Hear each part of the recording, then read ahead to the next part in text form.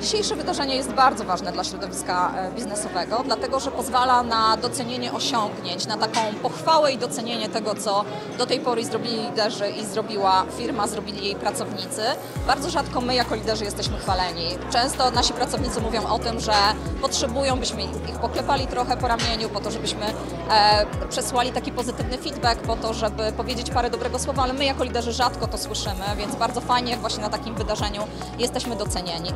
E, po drugie, takie wydarzenie jest również promocją,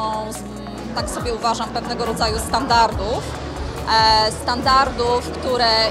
inspirują, kreują e, różnego rodzaju innowacyjne procesy, innowacyjne produkty, innowacyjne sposoby postępowania organizacji, a również innowacyjne struktury organizacyjne. To wydarzenie jest również dla mnie ogromnym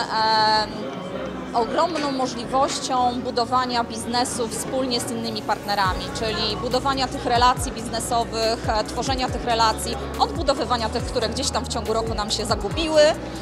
budowania społeczności, czyli tej platformy, na której możemy wymieniać nasze doświadczenia, inspirować się, pomagać sobie nawzajem. I myślę, że przede wszystkim o tym, co mówił e, profesor Bodnar, to jest taki moment, w którym jesteśmy w stanie na tym wydarzeniu również kreować wyższy poziom życia biznesowego, dlatego że to życie biznesowe bardzo mocno miesza się ze światem polityki i ostatnie lata uważam, że e, zdeprecjonowały nieco pewnego rodzaju etykę i, em,